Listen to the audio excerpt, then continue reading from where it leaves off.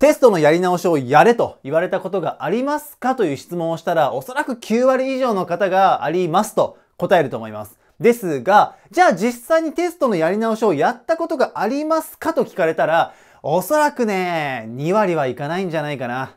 うん、皆さんはどうですか？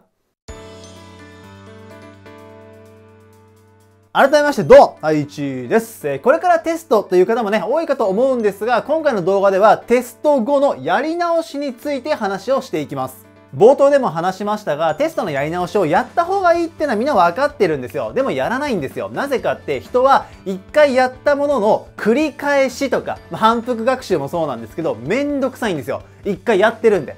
新しいもののが新鮮味がありますよね。だからやらないと。で、ここでどういうふうに考えてほしいかっていうと、例えばテスト勉強ありますよね。試験期間の方は今テスト勉強されてると思うんですけど、テスト勉強ってみんなその同じクラスとか同じ学年の人、多くの人がやってるじゃないですか。ってことは、周りもやってるから、自分も頑張っても、こう差が詰まらないんでね。だって向こうも伸びてるわけだから。でも、みんながテストのやり直しをやってない、やってないんだよ。止まってるんだよ。そこで、自分がやったら、もう分かりますよね。追いつきやすい。もっと言うと、追い抜きやすいわけです。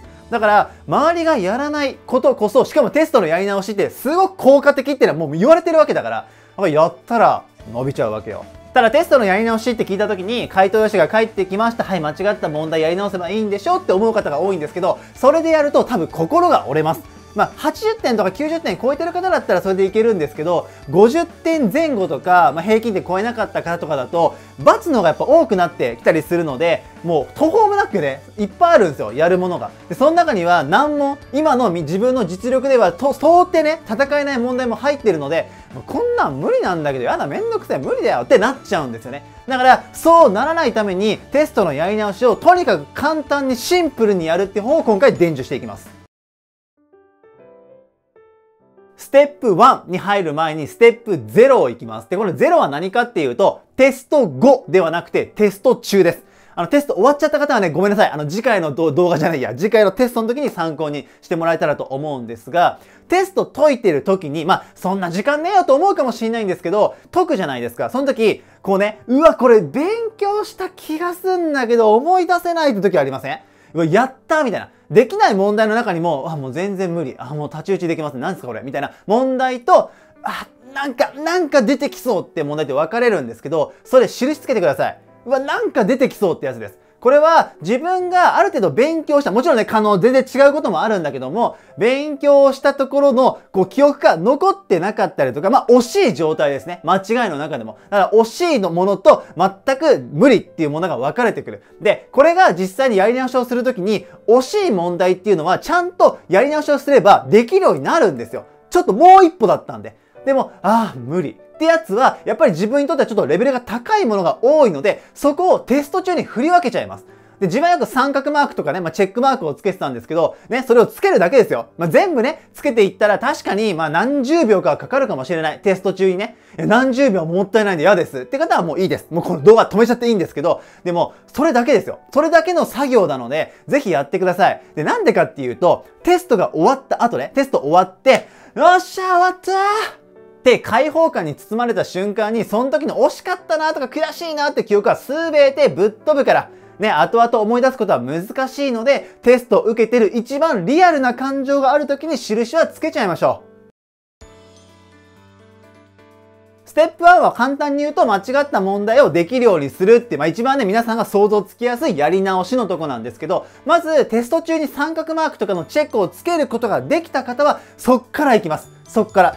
もっと言うとそこだけでもいいです。正直。ただ、この動画を見たのがね、テスト終わった後の方もいるし、そのテスト中はちょっとつけたくないな、無理だなって思う方もいるかもしんない。でも、自分が例えば10問間違ったとします。で、10問全部できるようにできたらいいけど、最初にも言ったように、その中には難問がある。ね、自分にとってはレベルが高すぎる問題もあるので、それは分けたいんですよ。なので、誰かを頼ります。つまり、今の自分にとって必要な、で、こう、簡単にクリアできるところの問題がどれなのかを吟味したいんです。ただ自分の力だけだと難しいから人を頼ると。誰を頼るかっていうと、先生、もしくは友達の中でその科目が得意な人です。で、この間違ったら友達見せるのね、友達とか恥ずかしいかもしれないけど、成長のためには仕方ない。見せる。ね、見せて、例えば10問とか15問間違ってて、どれがいいと思うって、ちょ、チェックしてくんないだと、向こうとってはさ、えーってなるのよ。そこでいいのが、先生って、この私間違った中で、まずできるようにした方がいいものを3問か5問、まあ3か5どっちかがいいと思うんだけど、3問選んでくれませんか？って、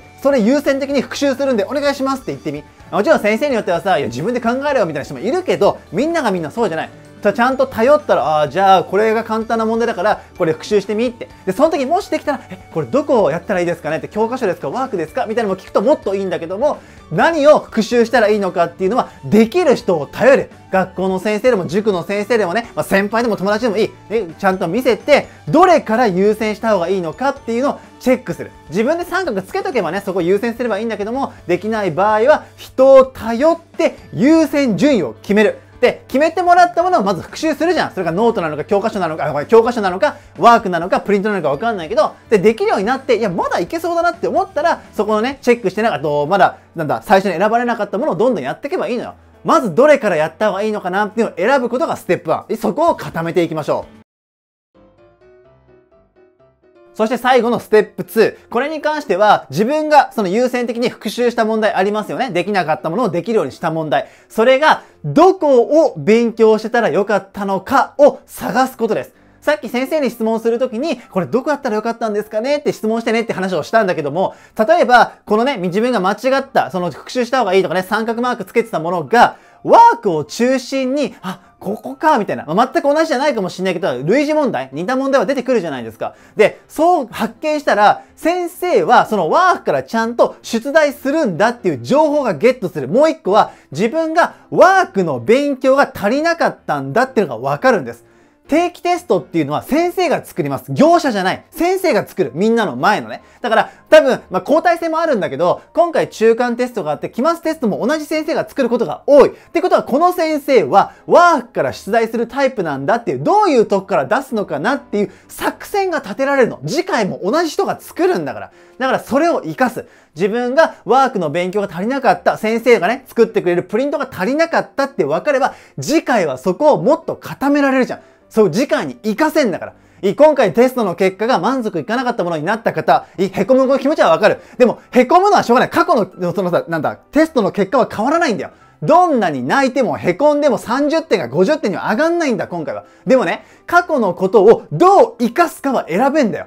へこむだけで終わるのか、次に絶対活かしてやるんだと思うのか、そこは選べる。だから、この今回ね、0ステップから0、1、2ってね、紹介しましたが、まずこれをやってください。こっから。復習ってのはもっとできることいっぱいあるよ。やり直しは。もっといっぱいあるけど、まずそっからやっていく。で、それができるようになったら、自分でもっとこんなことできるなっていうのが思いつくから、それをやっていけば、さらにレベルアップするから。もう一回言うよ。周りはやらねえぞ。やり直し。やらない。で、この動画見てもやる人は多分1割もいないから。ふーんで終わるから。でもその中で行動したあなたは絶対伸びるから。いそれを信じて次に活かしてもらえたらと思います。思います。ということでね、ここまでご視聴いただきありがとうございました。また来週月曜日の動画でお会いしましょう。それじゃ、またねまたね今週1週間も頑張りましょう